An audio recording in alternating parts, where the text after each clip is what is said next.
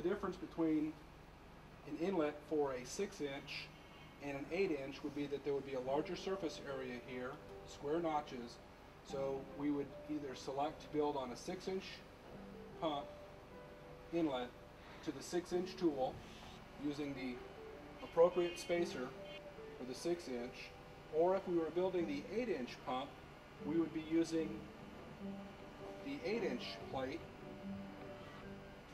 along with the taller appropriate spacer for that assembly. So at this time, we're building a 6 inch. So then what we'll do is we'll take the appropriate spacer and fill bolt and slide through the assembly and then grab our shaft and screw into place.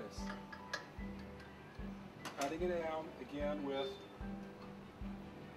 the Allen wrench. Make sure it's tight because there will be a lot of torque exerted on the split cone and split cone nuts. At this point we can take our prepared inlet and lower down over the shaft. Again, we've ensured that the spacer is positioned such that the inlet is actually above the surface of the vise itself and will not interfere with the spacer or the assembly during the assembly process. Next thing we'll do is we will take the impeller that came along with this assembly, which was a full diameter impeller, and put down first. And because it has two trims, the moderate trim will go next, and then the most severe or the greatest trim will go out the top of this pump. And what's important to note as well on this is that this pump or this impeller actually in the standard assembly comes with the pedestal on it. If it's going to be mounted at the bottom of the pump, which is the proper location uh, for the bottom or full diameter impeller, it's necessary that you actually remove this pedestal because this pedestal is only used in combination with the top chamber. Again, we're going to slide the impeller down by lifting up on the impeller and pushing down on the nut till we get it close to being down on top of the shaft. We give a good squirt of soap to get rid of some of the oils on the shaft. And again, make sure that the impeller or that the cone is firmly pulled through the impeller and then tighten the nut down. Take our special spanner for the nut, slide in place, and then we set our torque wrench to the proper torque. While you're tightening that assembly down, you want to make sure again that the impeller is not spinning. If the impeller does spin, and you find it necessary, and only if it's spinning, would you use again the counter spanner that would be inserted underneath and hold, it actually holds on two of the vanes. Never use a screwdriver as it can cause the impeller to be deformed and cause vibration in the pump. Next, we'll take the standard chamber and put on top of the assembly. Again, the standard chamber is different than the upthrust chamber or the upper chamber in that it has a seal ring installed inside of it. It has a large bearing, and if we flip this over, we look inside, we'll notice that the rubber bearing, again, is removable by pushing back on it. Um, the other type chamber that's part of this assembly, we have again the washer that's down inside the chamber and this bearing is actually held in place differently uh, and it's actually on a sleeve and require a punch to punch it out if you had to remove it. Again, we're using the standard chamber at this point. Sure that it's seated nicely and that there was no debris on the seating areas. And now we're ready to add the next impeller. Again, we have a pump that has three different size impellers. So again, we're taking the A impeller, which has the least of the trim, and that is being added next.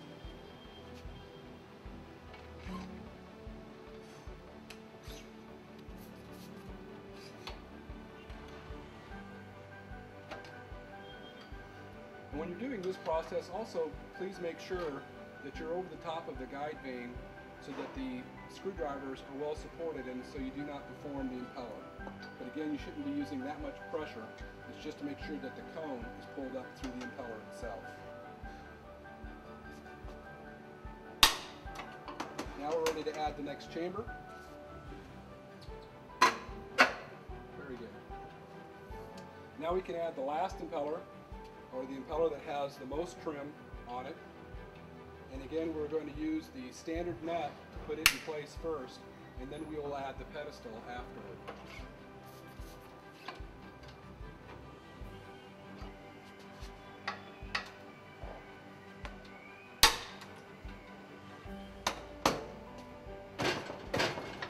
Then you loosen the nut, back off the unit. Anytime that you're using a pedestal on the or the upthrust assembly, the pedestal itself is made out of stainless steel. Unlike the split cone nuts that are made out of or have a delta seal coating. So we are going to put a lubricant on the flat surface and on the threaded area of the impeller so we do not get galling while we're installing the upthrust pedestal and so we get true torque down on to the impeller and to the split cone. So we first we add the pedestal and then we'll add the specialty tool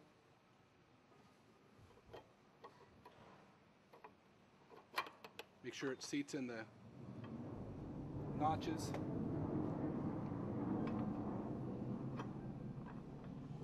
then add your spanner and then we are ready to torque.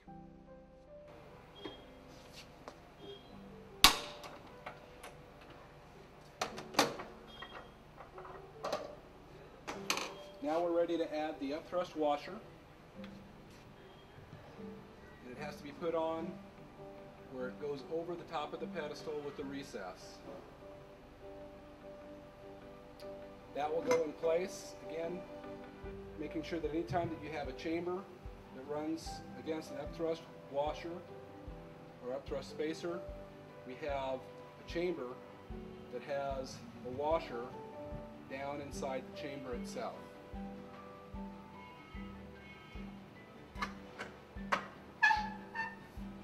It's firmly seated. Now we're ready to grab our discharge piece. It consists of a lower plate, which has an O-ring that is stretched in place and over in a groove.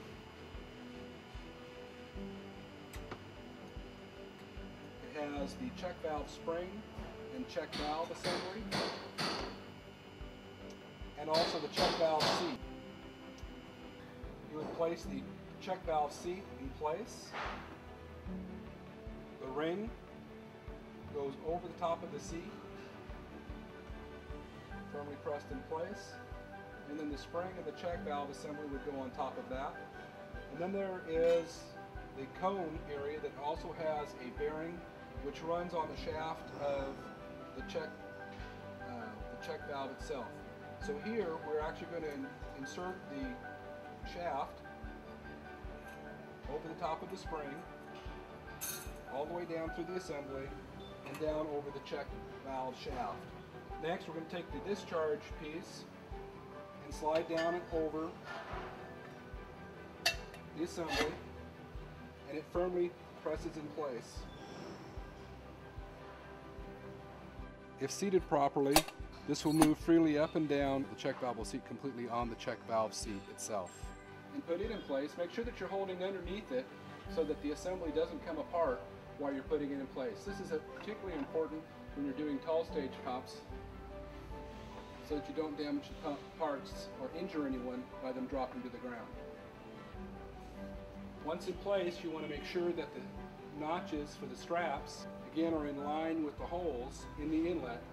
Then we'll take our straps, which are designed to actually go up inside because of the bend these will go up inside this notched area and when tightened down will hold, be held in place properly. So first you install it in the lower area with the bolt. You bring it down and you gently bend inward and then release upward making sure that catches on the lip. Now we're ready to add the washers and the nuts that are in your kit. Then again, the washer is installed with the concave going upward.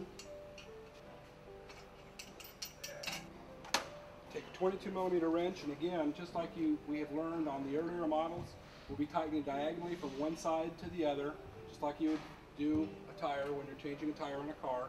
And again, on the longer units, it's it's important to make sure that the straps are as straight up and down as possible on the assembly before you begin to tighten.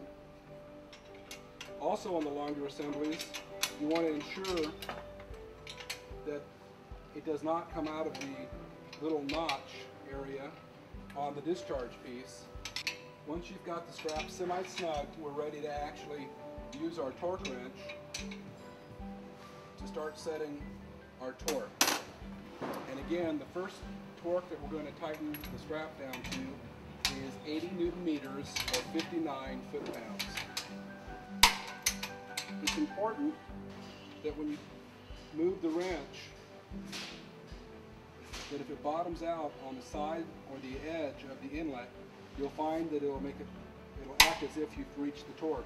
Make sure that you, the torque is actually achieved or reached while it is in the center and there's a gap between the wrench and the inlet piece.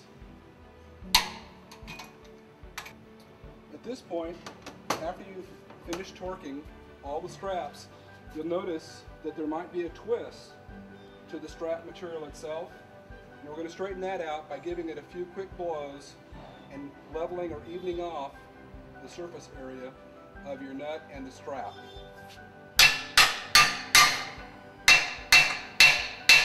Then driving this area in smooth.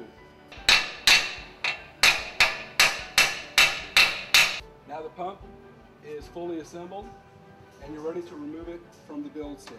At this point, depending on the size, you may want to have a crane or a lifting device so as not to hurt yourself. But this unit's light enough to be able to lift off and place on the table to check our end play. As with the other pumps that we've built, once the pump has been assembled, we've had the shaft pulled to its maximum travel downward during the building process. So this is where we want to check our end-play first. We want to check our lowermost end-play or measurement dimension with our depth vernier. As with the other product, we're going to enter in through the coupling all the way down to the surface area of the shaft down inside the coupling surface itself. Again, we're going to be reaching across an area where it's solid so you can get a good measurement. Take it down where it's solid, make sure that it doesn't rock when you're tightening up your tool. So once tightened, you can remove the tool and check the end-play. And the end-play should be below 71.5, plus, it's plus minus 0.5. Now we'll simply push the shaft upward using our fingers and push the coupling to the uppermost travel and then we'll take the end-play reading again. Make sure that when you're taking this reading that you don't end up inside the hole that is in the washer for the build bolt. And again, here the reading has to be above 74 millimeters. It's also good to make sure that we rotate the shaft and using a special tool made out of a shaft of a failed motor. We've taken a coupling off of a pump as well and then just drilled it through and set it in place with a set screw. This allows you to check both the end-play of the pump and also check a motor if necessary. But in this case, we're actually going to slide it inside the coupling and we're going to rotate the assembly. And you don't want to hear any clicking noises from impeller vanes making contact with the chambers at this point. So we have good rotation as well. Now, just as we reviewed in all the other videos, we would take this and mount it to the pump or to the motor. But what we want to note at this point, please, is that with this, the inlet screen on this product, it's important that you do two things. One, you locate the notch for the lead over the area or the relief of the inlet itself. Slide the lock in place over the screen And once positioned properly, you'll want to take a hammer and gently deform the areas so that the lock does not come off. Also again, important to remember is that if you're doing or building a pump that is not going to utilize the other relief area for a motor that has six leads or a star delta motor, you'll want to put in place once again the uh, bracket and screw this firmly in place so that no rocks and debris can enter in this area. After mounting the screen in place, making sure that it has been properly located in the center of the relief of the inlet, at this point you want to put the cable guard on, protecting the leads of the motor when you're doing this, when the motor is attached. Now what's important to recognize is that on the lower portion of the inlet, you have a larger screw with a larger shank than you have for the screw that goes in the upper area up in the discharge piece. Smaller one goes in the upper discharge area while the larger screw goes down in the inlet area of the cable guard. Before finishing securing it in place so that you have some movement, leave the bottom ones loose and then secure the top ones in place. Have them started before you finish tightening up. And then you can finish off the lower screw